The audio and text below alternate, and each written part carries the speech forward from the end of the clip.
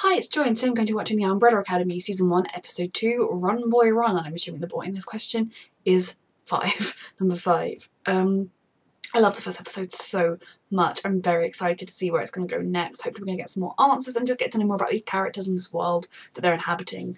That is very similar to ours, but obviously has women giving birth in a day and a lot of crazy stuff. If just a quick reminder that if you're watching on YouTube, you can see the unedited version Patreon on Patreon. Patreon gets the unedited versions two weeks early and the edited version one week early. So it's up to episode four on Patreon edited. Unedited even, if I can do my maths, and up to episode three, edited up on Patreon right now, and you can also vote in future polls for shows like The Umbrella Academy to help me decide what I react to. So yes, without further ado, let's go. These poor children. They deserve so much better.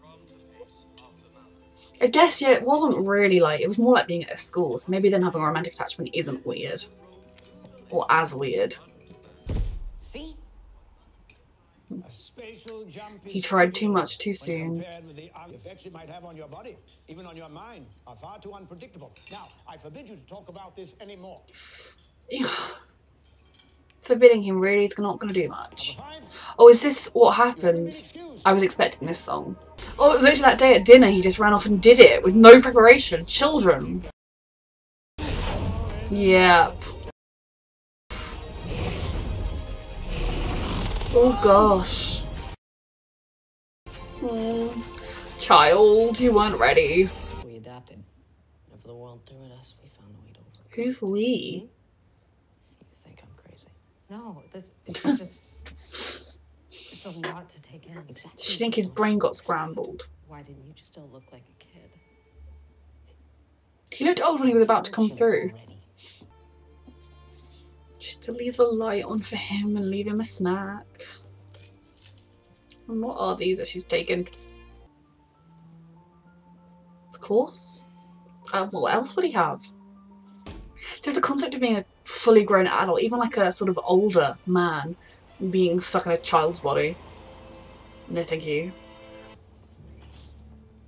You know what? ID, no room. You didn't ask for any ID, did you? I'm guessing these people either have something to do with the murder of their father or they're tracking five and they're from the future and that's why they're weird. It's against protocol. We gotta have it with us at all times. A rule written by they can shove their protocol. Time travel machine, I guess, then, right? lugging around. Here's our guy. Oh, so five worked for them. He joined some kind of. He did whatever it took to survive and. older guy and, and his kid. The guy had a dog. They drove away. they. So she doesn't know it was the I kid. heard shot. Told the other detective everything. What other detective? yep. The time traveling detective by the sounds of things. Or Diego. Lord, you test me.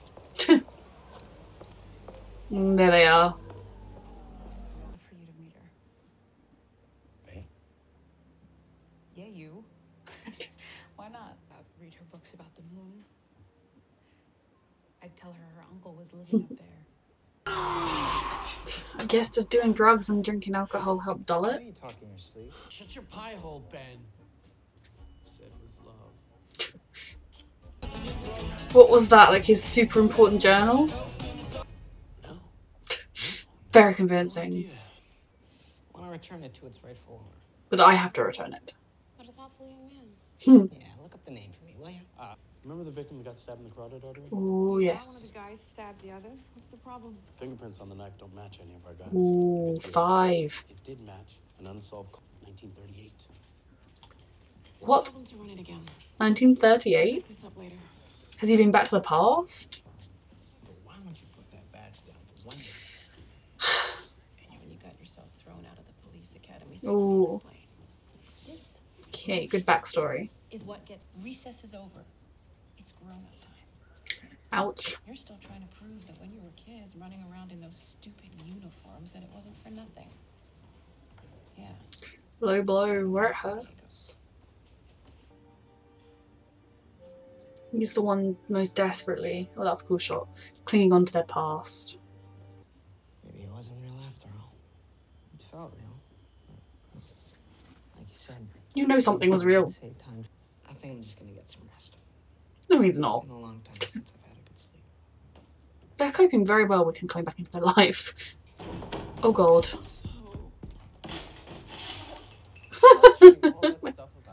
Disturbing glimpse into that thing you call a brain. Let me put you in timeout.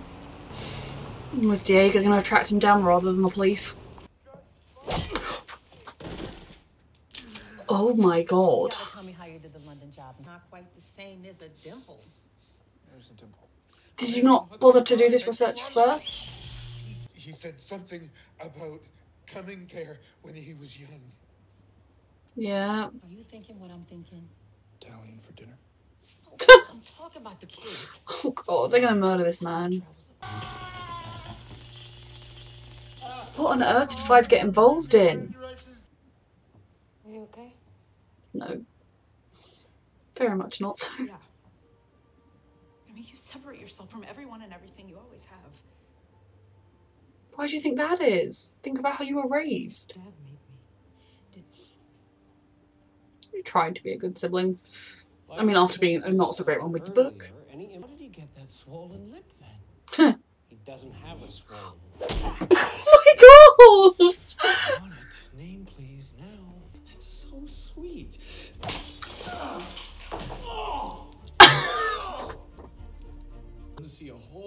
Blood, and they're gonna wonder what the hell happened, and we're gonna tell them that you There are so many witnesses in this place. out of us. It hasn't even been manufactured yet. Where did you get that eye? Oh, this is not good. I was pretty good though, right? You were brilliant. I consent to lighten up, old man. I mean, I'll like you if you call him old man. Hey, you know, Tired of looking for a place to sleep. Yeah. He did make the most fantastic. You're alone. I wonder if she does have a power and it's to do with the violin. What up. Everyone knows him and loves him, it seems. Apart from his family and Detective Patch.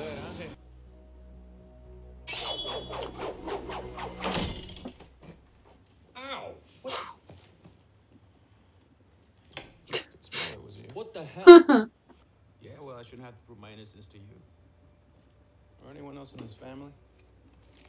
Is that just. No. Just no. Can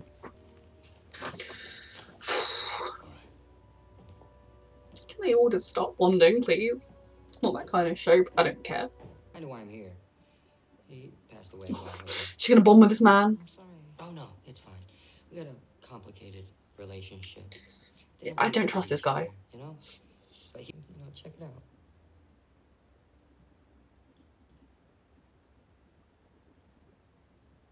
This week I'm. Um, it's fine. I understand. One grows used to things, even if sometimes one shouldn't. It's the wise chimpanzee. Come with me. Most families have home movies. Yeah.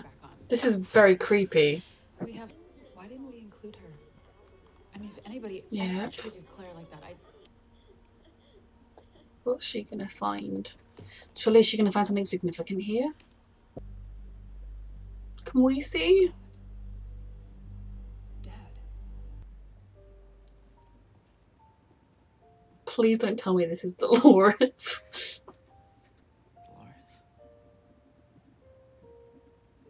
no. Does it just look like someone that was real? Oh god.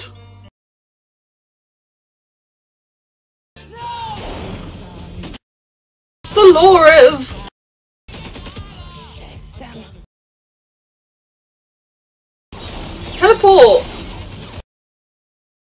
I mean, he's very good at take finding what he needs. Ooh. Oh, Run! Can he not do it too much at once? They are bad shots and we are lucky. You jumped again. He didn't at all, he's ducked down hiding. You need to talk to your siblings, your younger older siblings. She's dead. I'm sorry. Is she gonna think Diego did this? Oh, you're tracking your brother! Not that you have any way of knowing that. Well, just tell him what you found. So I thought he stopped recording. Was he recording that night? Did he know he was going to die, so he recorded intentionally? Tell them. Oh god. He could help you if he knows it's gonna happen. Does he recognise that as his brother? Did he find all of their bodies? Or was that Dolores behind him? They were all in the house when it happened. Yeah. We didn't see Vanya's body though, right? So could her powers be igniting and that be what causes whatever happens? That was another really good episode. Um, I think I preferred the first episode because it was kind of... I feel like we got more information because it was the first one, but this one I definitely found intriguing still. I'm still really enjoying this show and I just really want to get more underneath the characters. Um, we've had a few different team ups already. Um, I think hopefully, I still don't know what um, Allison saw. I'm guessing that if the dad stopped recording years ago, if he knew he was likely to be murdered or knew something was going to happen to him, maybe he recorded, or maybe he recorded a tape specifically saying, my children, I am going to be murdered. I don't know. We'll find out in hopefully the next one because that's what they were going off to see. But if she, the fact that she's appealing to Luther, they have their strange relationship, but that's two of them working together.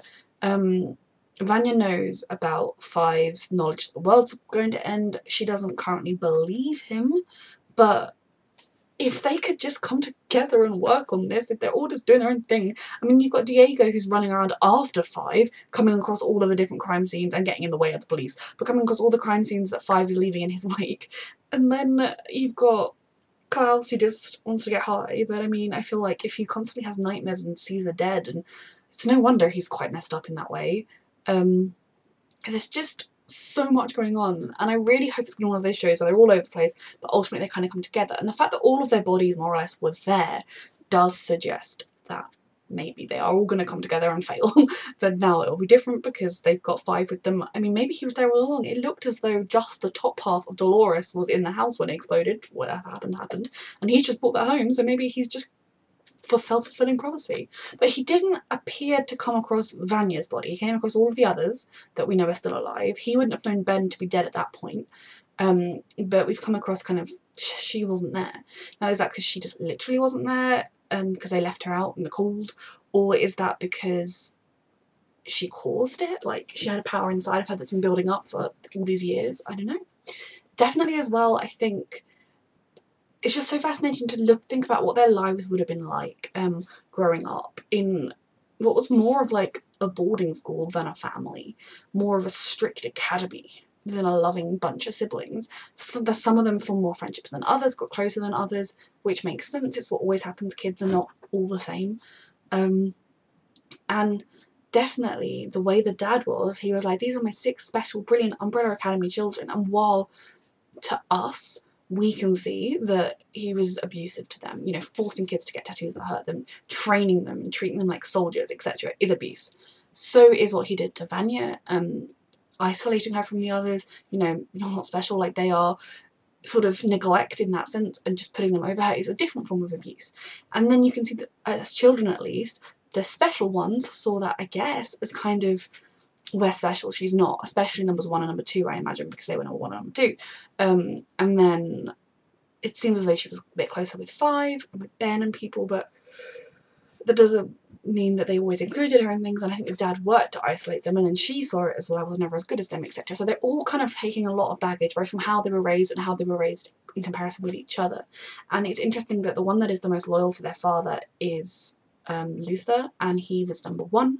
He was the golden boy. Um, and yeah, I think it's interesting just to kind of get more information and dynamics and how it's playing into it. And I think that played a huge part in Vanya choosing to write a tell, write a book in which she spilled not only her father's secrets but the siblings' secrets without their permission or consulting them. Um, because I guess she kind of she'd always felt like she was on the outside and they left her out and she wasn't as good as them, but she could show them, she could write the book. I guess was kind of some of um, her thought process there. And when they already were feeling different and isolated from her. You can also see why in her own life she just builds barriers up. She doesn't know how to connect to people particularly well because she always was isolated. And then the person she was seemingly closest to, five, um, vanished. So she didn't even have like the brother she was closest to. And if Ben was another one she was close to, he died. You know, you can definitely see why these characters are the way they are. Um, the threads forming. But what I'm really hoping is we're going to get to watch them actually becoming a family. Like, screw their dad, they can all become a family.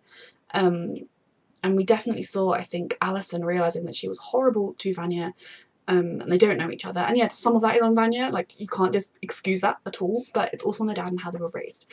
And they all need to kind of take stock with that. And so while she said, you know, yeah, dad's dead, um, you're an adult, it's on you, it's on Allison as well. And I think hopefully that maybe she'll reach out to Vanya at some point and we can, I want them all to be friends. You know me, I love relationships and shows, platonic um, especially.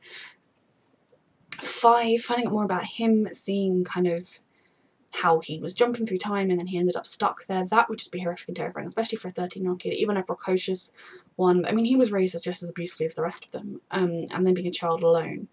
For a minute there, because it seems as though he joined some kind of time travelling agency at some point. Maybe it's a time travelling agency where they decide that they're going to keep the timelines intact, and so him coming back to try and save the world is something they don't want of some kind, because yeah, so I actually thought that maybe he had had a wife or a girlfriend called Dolores, but it was a mannequin. I don't want to think about that too much. So I'm still intrigued about what exactly was going on with Five. These people seem to have a time traveling briefcase thing rather than just being like Five who's able to do it himself. Um, maybe how he got back was sort of to do with knowledge he'd got from there. There's still a lot of information basically to learn and why are they tracking him down? Is it because he is seeking to change the course of history and save planet Earth rather than leaving it be um, to die. That's kind of what I'm thinking at the moment, but you know, who knows um, exactly what he got up to. So we kind of see more of their lives, that Vanya teaches music. I imagine she got some money for the book, um, but obviously not enough to like buy a giant penthouse or anything. Um, and yeah, I just want them to bond. So seeing their sort of surveillance cameras is another sign of how messed up their childhood was. But in some ways it's nice to have videos to look back on if you just don't think about where they came from. But I need to know what she saw. They're all still so broken. I mean, Klaus was very funny. He's very good at improvising um, to get away with things or to do things. But they're, they're, just, they're all just so broken in so many different ways. And I really think if they were to find a way to come together, to work together, it would really help them all heal. Um, and have someone to lean on who was always there for them. Allison's ex sounds horrific. Um, you know, even just for the child's sake, she deserves her mother. And unless Allison was secretly abusive that we know nothing about, that child is going to be better off having a mother in her life than she is without. But I'm just mostly excited to see the different mysteries, what happened to the dad, what happened to the end of the world. Are those two things linked? Why was Five so convinced that the eye was linked to the end of the world? I mean, why was Luther holding the eye? There's a lot of information there that we don't have, that some of it Five has, some of it he doesn't, I imagine, but I just need, like, you know, this was a whole episode where, like, we didn't get any answers, and, you know, he needs to start telling everyone everything. I feel like if we could call the whole family together and have a talk about everything, that would be good, but it's also not a family that I know would actually come together in that way. Um, we didn't see any of the robot mum. I'm stressed about that. Maybe she was somehow used to kill, like reprogrammed or hijacked or hacked or something. I still love Pogo. I don't entirely know why we have a sentient monkey that talks, but I love it. So yeah, this was another really, really good episode. Um, I still feel like we're barely scratching the surface of the potential this show and these characters have, and I'm so excited to delve further into it. A quick reminder that if you are watching this on YouTube, you can see the unedited version up on Patreon as well, and you can get the next two weeks. Patreon gets the unedited versions two weeks ahead of YouTube, and you can also see the edited version one week early. So yeah, a huge thank you so much for watching. I'm so excited to keep delving into this show.